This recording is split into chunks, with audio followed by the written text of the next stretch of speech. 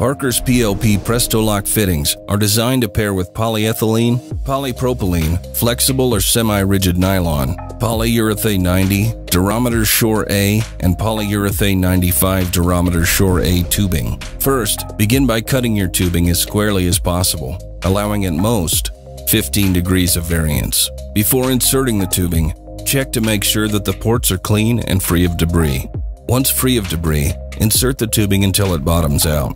Once inserted, pull on the tubing to verify it is fully inserted. To disassemble, simply press the release button, hold against the body, and pull the tubing out of the fitting. An additional step may be taken to ensure proper assembly. Prior to assembling the tubing, mark from the end of the tube the proper length of insertion, which can be found in the Parker Fluid System Connectors catalog. A proper assembly will show this marking flush with the collet after the tubing has been inserted.